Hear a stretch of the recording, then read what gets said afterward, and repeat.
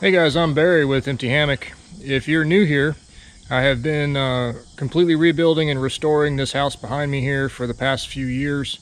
It was a complete disaster when I got it, and slowly, uh, just in addition to my normal job, I've been working on this place. So today I'm working on millwork, trying to get all of the old trim from the house put back as much as I can. As we were in the demolition stage, we saved all of the old trim. I really like it you can't buy stuff like that anymore without spending ridiculous amounts of money. And I really like the fact that it's original to the house, so we're going to try to reuse it. Right now I'm going to be putting the little strips around the door frames to bring the trim out level with the new sheetrock that's on the walls. I start out with that just by ripping it down on the table saw and uh, attaching it with my brad nailer.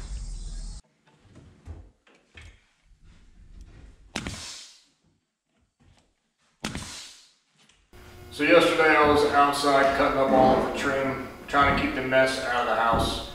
Uh, but it looks like the weatherman ordered some rain and the clouds decided to acquiesce. So I'll be moving inside today, putting in the rest of the outlets and lights and switches and all that so kind of stuff. So what do you want me to do? I don't care. You can stand there and look pretty. Right. Great, whatever. That's going to be impossible for me to do.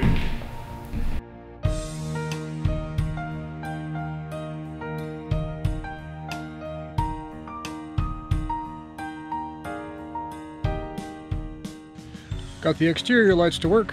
Now it can get all covered in dead bugs and spider webs and make it look like somebody lives here.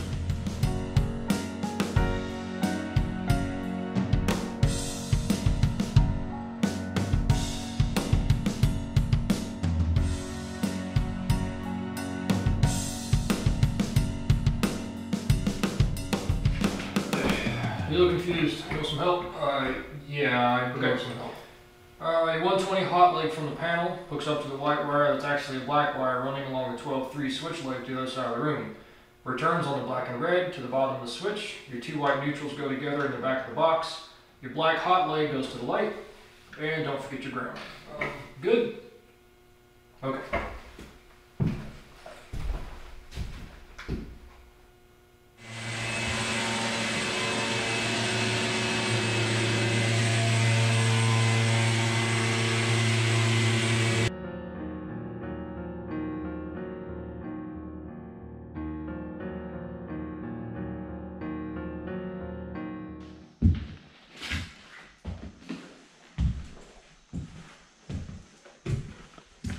And the best part is that it was cheap. Well, it it was inexpensive, not cheap. We got it at a discount, but it's actually pretty expensive. A little bit of a difference. We got it on clearance. Yeah. There you go. Might need to raise it up a little bit though.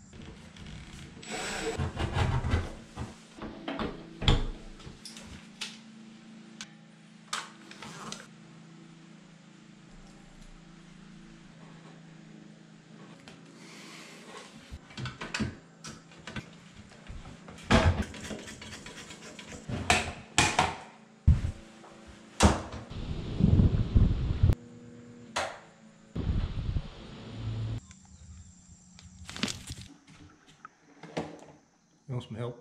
Sure. Okay, I'll stop filming you and help. No, let's not do it over my pneumatic oil and all this other stuff. Oh, come on. Up the ante here. No, no, Annie's will be upped. You don't, you don't have much faith in me. Nope. Oh, there it goes. I don't like oil-based anything. Me neither. Yeah, it's dripping down my hand. Oh!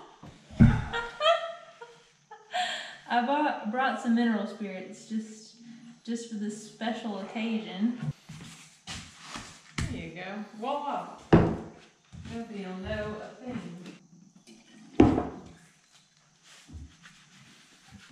Alright, so I'm done sanding uh, the tongue and groove from the original porch. We did test it for lead paint and it doesn't have any, um, but we are putting oil-based primer on it uh, that can be topped with a latex paint. Um, and what this will do is just make sure that any nastiness from the original will not come through. Well, everybody, that is basically all the electropickle done, which is pretty cool. Uh, of course, I still have to put on the cover plates and attach the lights to the ceiling and all that kind of stuff after the painting's complete, but yeah, that's pretty much it. So, uh, next video is going to be trim, getting all that done. Then, really, we have floors, installing the kitchen and bathrooms and plumbing. And that's it. And then you'll never see me again. No, I'm kidding. That's not, no, that's not true. Uh, I have a, a lot of stuff planned actually with the profit from this house. I'm going to build onto my house and uh, give ourselves a little bit more space. So I got a bunch of stuff planned for next year. Um, it's going to be good. Thanks for watching.